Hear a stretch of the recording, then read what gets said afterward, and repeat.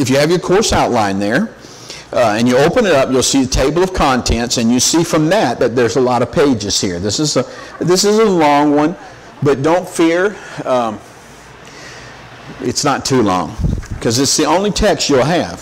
So you can work in this and read this, and it's good. Just briefly here, we're going to begin the course. The name of this course is Walking in Present Truth. I think this is probably one of the most foundational and imperative courses that anybody going into ministry, for that matter, anybody that's going to serve in any capacity of leadership in the kingdom of God. It's a great course for someone who's just going to worship the Lord and come to church. But if you're going to be in leadership, this is a powerful course that you're going to be uh, studying this month. And so, uh, in introduction, uh, we want to begin by just simply stating the fact that there will be, or I should say there already is, a generation of people who fully will enter into all that God has intended for believers uh, from the very beginning. Uh, we've said this before in previous courses. If you've been with us, you may have heard it that uh, it's really hard to even understand and really comprehend salvation, to really comprehend all the principles and teachings in God's Word if you don't read and study and get to know Genesis, the book of Genesis, especially the first three or four chapters. It establishes the fact that He is God. It establishes the fact that He created man kind, that he created man and woman for each other. It establishes uh, the fact that he is the one who instituted marriage or covenant relationship. So there's so much in there that we have to grasp in order to really be effective apologists for the kingdom of God. And the reason is, is because we live in a time where people are smart. People are educated, they've got a lot of training, and they've got a lot of this stuff in their brain. And, and a lot of times in our society, people feel like they know as much or more than God. And so to really begin to witness to people and to really base your own values and your own uh, convictions in alignment with the kingdom of God, you have to understand that it all comes from God. He's the beginning and the end, the Alpha and the Omega. And He has the right to say what we should believe, how we should live, how we should act, and how we should, you know, uh, determine our values. God is the one who holds that authority and that power.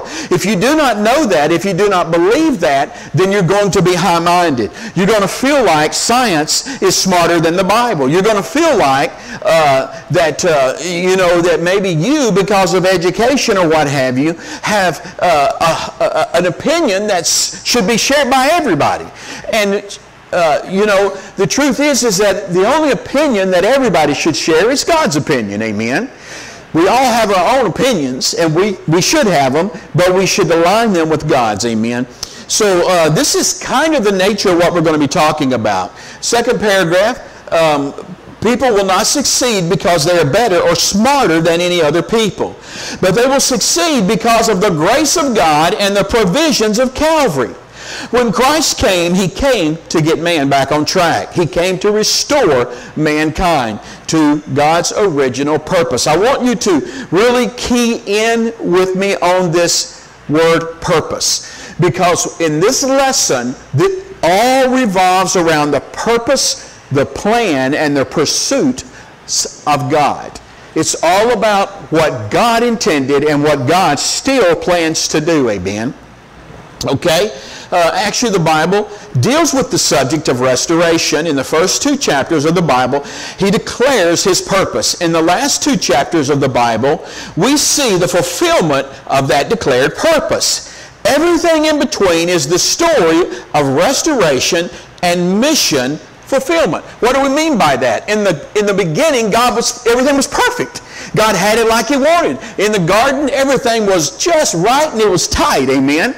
But through original sin, Adam and Eve, you know, uh, falling into sin, it caused all of nature and all of humanity to now be put on a different course. And ever since, there's been the battle of the ages, you know, between light and darkness. The devil's pulling people one way, God's trying to pull people another way. And, but God wants us to understand that when this thing all culminates and when it all comes to a finish, he wins, amen. And it will be his way.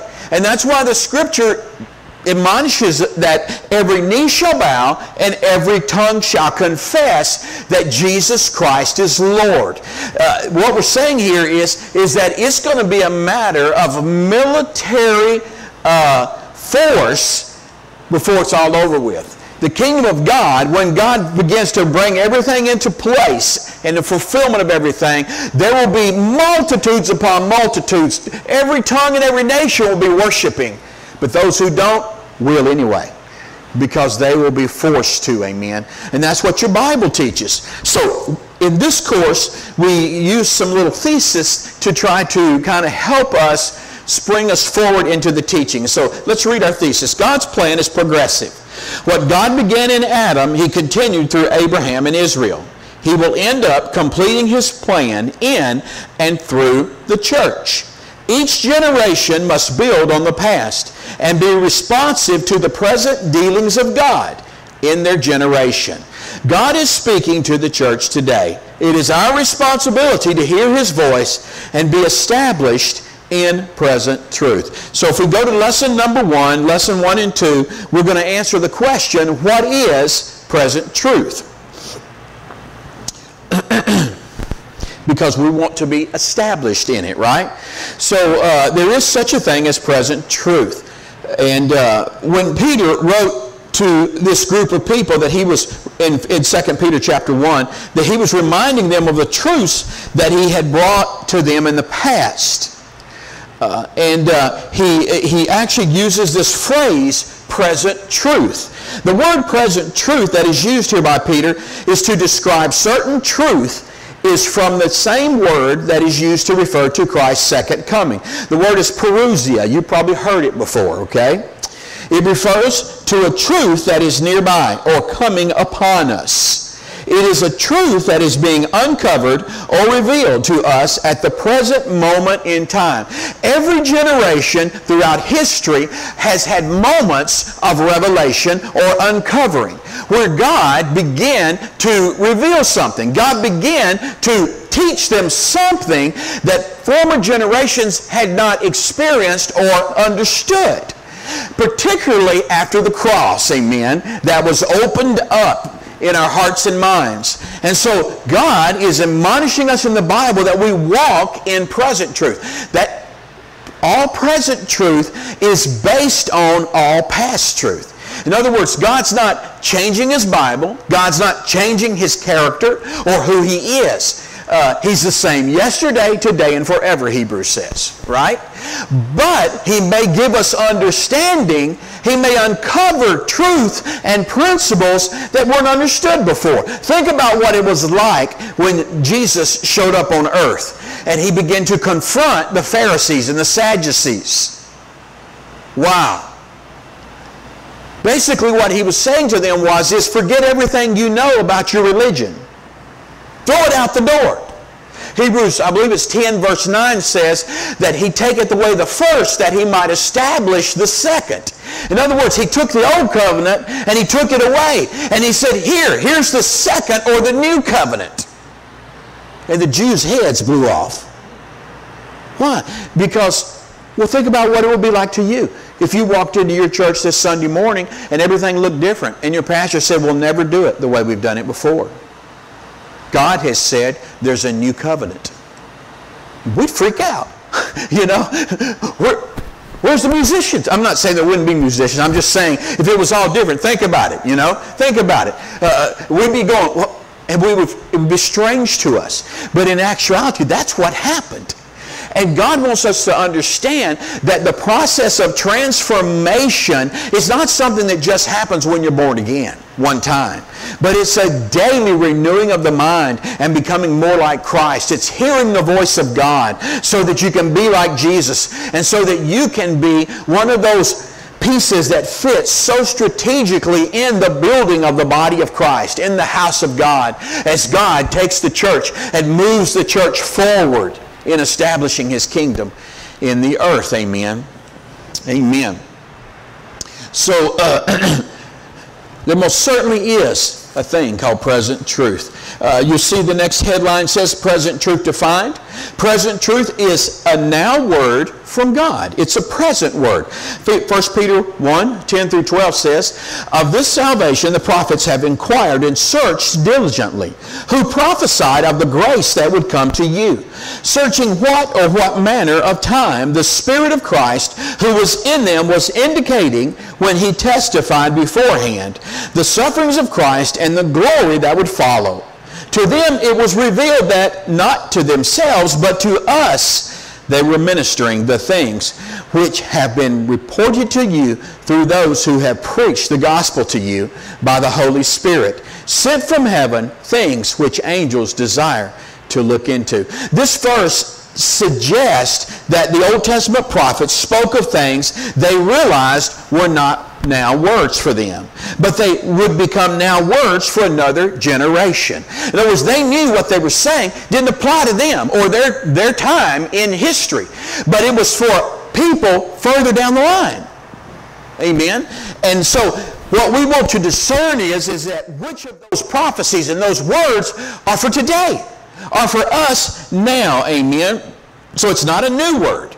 God's not speaking new things outside of his revealed word of God, but he does bring illumination on the revelation that he has given to us at critical seasons in our life. It's meant to be an area of focus. Remember Ecclesiastes chapter 3 verse 1? It says, to everything there is a season and a time. Amen. It says there's a season to mourn and a season to laugh. In other words, for an example, but it lists many different seasons. Amen. So there are various stages in this process. It's about steps, seasons, or phases that we must experience, that we need to share in, that are common to all who progress and who grow certain things need to happen in our lives as we grow amen. Think about years ago when you were a brand new christian. Don't you don't you aren't you more mature today? Haven't you learned things that you didn't know? You you were saved. You were loving jesus but you you, you just you just had to learn some stuff right? And that's part of this process and this new word it's not that god's coming up with new ideas today. No everything in the bible and all doctrine and all truth has been settled in his word. But to you and to me, the Holy Spirit begins to enlighten us. And all of a sudden, we see it like we never saw it before. And then we realize why people have been believing this way or living this way. Amen? Amen? And how many of you know that it's absolutely normal to have trouble doing something if you cannot believe it? Right? Someone can tell you for the first year you're saved, you need to be tithing. But if you don't believe in tithing until you see it in the Bible, until the Holy Spirit reveals it to you, you ain't going to tithe. Amen? But once faith comes, then you turn around and you go, I don't know why everybody don't tithe. That's the kind of thing we're talking about right here. Amen? Amen.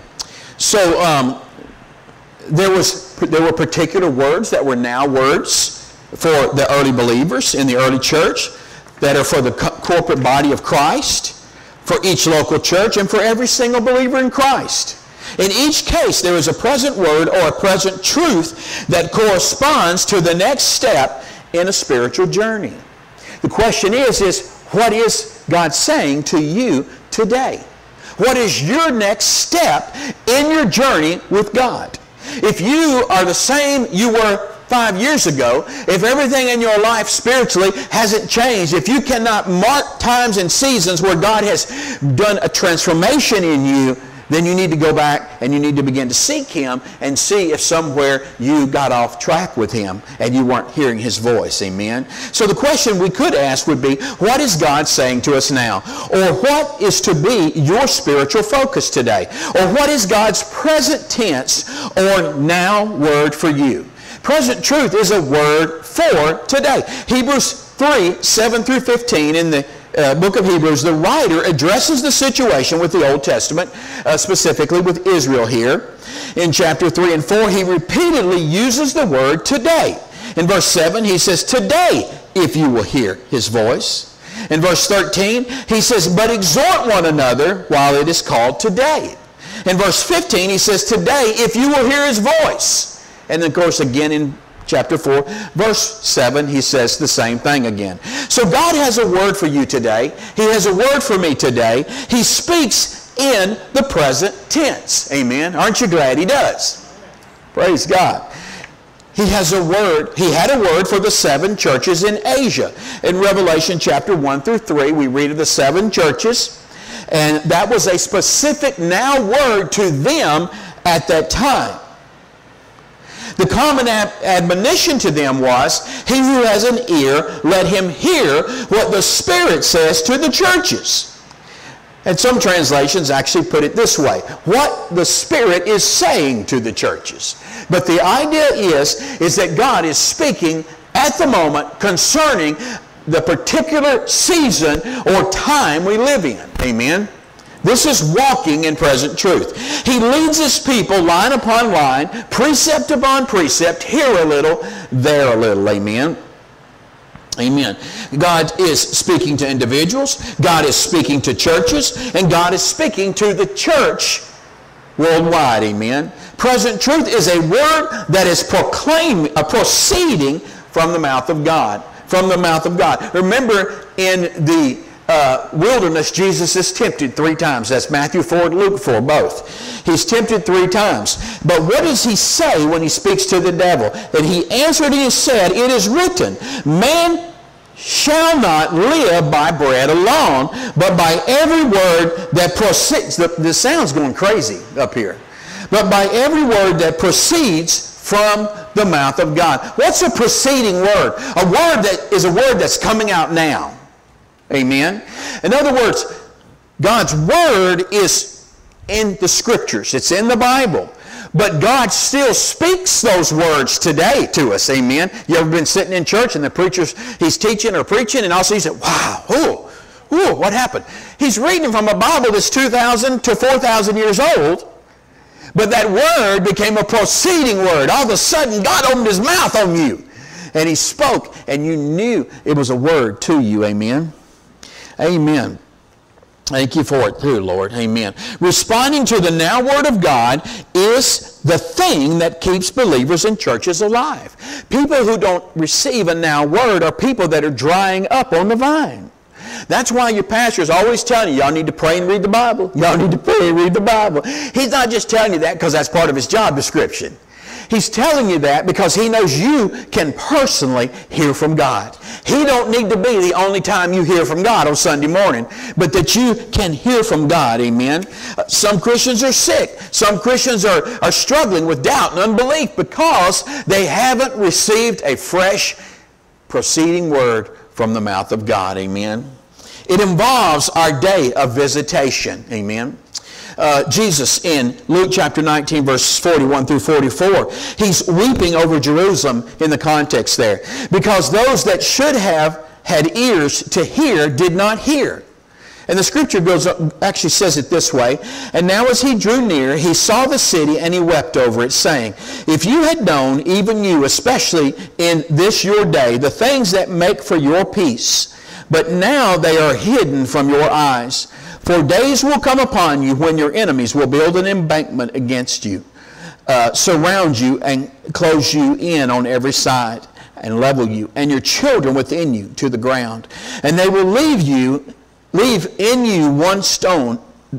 They will not leave in you one stone upon another, because you did not know the time of your visitation. What's he saying to him? He's saying, I visited you, and you didn't recognize it. Amen. He says, and now because you didn't, it's going to be bad news. Amen. So the religious rulers of all people should um, have been those most ready to hear. We as leaders, we as pastors and, and uh, uh, ministers of the gospel, we should have our ear tuned into the voice of God for a fresh word every day. Amen. Amen. When God is visiting an individual, a church, uh, or the church universal with a now word, it's important to catch everything that he's saying and to receive that special grace at that moment. You ever heard a pastor say, you need to do this and you need to do it now? The reason they feel prompted to say it that way is because they understand that grace always follows a word from God. But there's a season there. You know, uh, we have to respond to God when God speaks to us. It's almost like me. I raised four. Right, and I raised four boys, and it's almost like us with our four boys. I say, son, uh, if you'll take out the trash, I, I, I want. I'm gonna bless you with two dollars. Okay, you know, for a little guy, that's that's good. You know, and he says, okay, daddy, and he runs off. And the next morning, I get up and the trash is still there. And I say, son, what? You didn't take the trash out. I, I'm to do it, daddy. I'm to do it now. I said, but son, you didn't do it when I told you to. How many of you know procrastination is the same thing as disobedience? Amen. But daddy, but daddy, I'm to take it right now so I can get my $2. No, son, you don't get $2 now. Now you have to take the trash and I want you to go to every room in the house and gather up the trash in those rooms and you won't be getting $2 because you didn't obey me when I spoke. Why? There was a special grace. Amen. There was a special anointing. And it's so important that when God's servants, when the Holy Spirit, when you're reading the Bible and it comes alive in you, that you respond immediately to what God is saying. Uh, I know some of us, we all have different temperaments. Some people are impulsive, like me. We'll jump on it immediately. Some people want to think about it for two or three days. Well, when it comes to God, we need to resolve in our heart, no matter what our temperament is, that God is always right. I don't have to contemplate for two or three days, am I going to obey God or not? You know what that shows? That shows unbelief. Amen. A lack of trust. First of all, be able to recognize the voice of God. Amen. And once you can recognize the voice of God, learn to act immediately. And your life will be so blessed because of it. Amen. And it's time for.